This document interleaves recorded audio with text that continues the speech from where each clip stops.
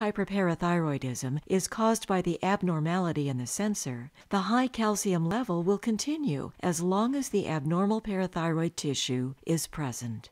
This can lead to weakening of the bones due to continuous bone reabsorption and remodeling, causing osteoporosis and fracturing of the bone.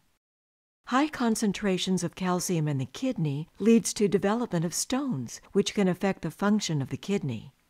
High calcium levels can also cause the nervous system to become sluggish, leading to fatigue, memory loss, poor concentration, anxiety, and even depression. High calcium can even cause stiffening of blood vessels and high blood pressure.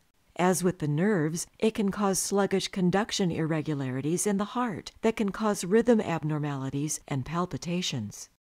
High calcium in the intestines leads to acid reflux and constipation.